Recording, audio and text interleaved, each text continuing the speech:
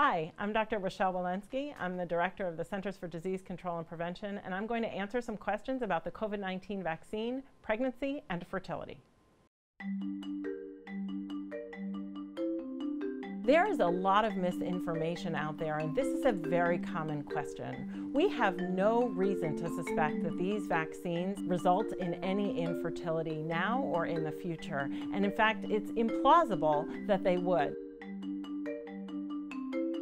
Getting vaccinated during pregnancy or before pregnancy is a really personal decision. If a woman is pregnant and gets COVID, we do know that they have an increased risk of ending up in an ICU or on a ventilator and an increased risk to their baby as well. It's a personal decision. Talk with your physician, talk with your gynecologist and obstetrician. Work towards that decision with regard to your own risks and comfort in mind.